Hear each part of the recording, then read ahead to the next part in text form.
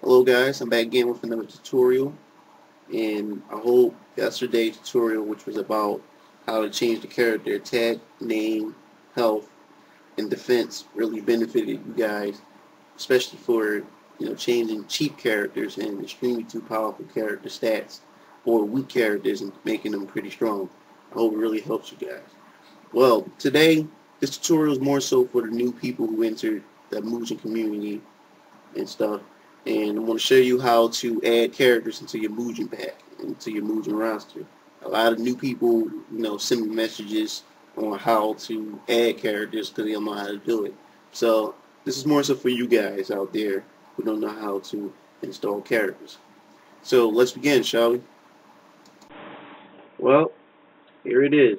When you first install your Mugen game or software, you will enter the folder and you will see characters, data, docs, sound, plugins, font, stages, and tools. Well, before we begin, I'm going to show you the default characters that already comes with your Mugen software. So, let's begin. Okay, here we go. Let's begin. To arcade mode. And as you see on your character roster, you start off with three Kung Fu men. Yeah, pretty basic, huh? So, this is how we're going to install characters. Because I know pretty much that a lot of you guys don't really like to use Kung Fu Man and want to use the real cool characters. So let's begin. So let's exit out. Well, first, before we begin, I would have to unzip or extract my character first, which is right here, Venom. going to extract them. Right here. Now, once you extract them, the folder will open up well, sometimes the folder opens up depending on how you uh, extract it. But you notice inside the Venom folder, there's another folder called Venom.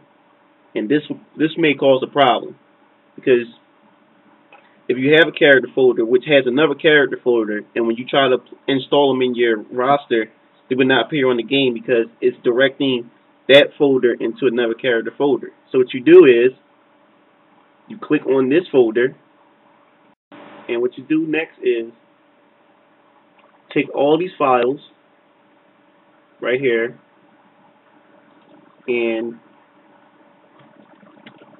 you hi highlight all of them. You copy them and then you exit back outside the folder and you paste all the files inside here. And you get rid of the Venom folder that was here. So now you have a Venom folder that has all of the files that's within it instead of having a Venom folder that has another Venom folder which has the files inside. You don't want that because the character won't appear on your roster once you install them. So now let's exit out. So now what we're going to do is we're going to take our character, which is Venom, and place him inside the No Limit Win Mugen patch. So what I'm going to do is I'm going to take him and drag him inside and then click on the folder. Now what you do next is take your character, which for example I have right here, it's Venom, and you place him into the characters folder, which is C-H-A-R-S for short, short for character. So that's what I'm going to do. I'm going to take Venom, and I am going to put them inside the character folder. Then I'm going to click on it. So, for now, we're not going to do anything to Venom because there's something else that we have to work with in order to get him inside the character roster. So here we go. We're going to exit. So next, what we must do is, in order to get our character inside our Mugen, we must go to the data folder. And I'm going to explain why once we get inside. So you click on the data folder. Okay, so now we're inside the data folder. And now you have all these special folders inside. So mainly what we're going to focus on, you have the you have the system def file, which is system of the Mugen engine that you have, but we're not going to focus on that. Right now, you want to be able to have your character, which you in, um, downloaded, you want to have your character be able to be selectable and playable within the game.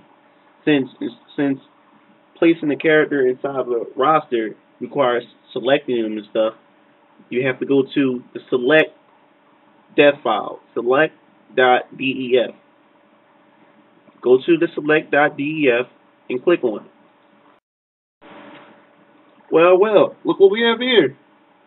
We open select.def file and look what we have. Instructions on how to add characters. Isn't that something? Yep. Well, anyway, what we're going to do is we're going to scroll down right here.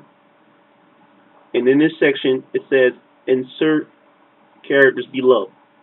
Now, this is basically simple. KFM is Kung Fu Man, which came with your game. Them three Kung Fu Men that you saw on your roster. What you do is you insert your characters below, which they already have the three default characters. And what you do is you take their name from the folder and you place the name of the folder into this area below. Now, in another tutorial, we're going to explain how to insert stages. So don't worry about this. Just ignore that.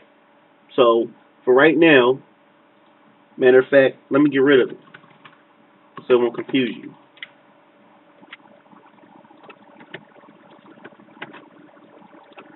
So for right now, we are going to just focus on the characters right now.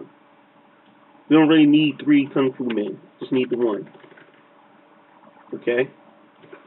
So, what we're going to do is, we're going to put Venom in. So what we're going to do, right now, we're going to minimize this, this screen for now. So, next, what we want to do is, we're going to have to take Venom, take his name, from this folder right here, copy his name, and then we're going to bring up select def file, right, that we that we had minimized. So what we're going to do. Now, we take Venom name,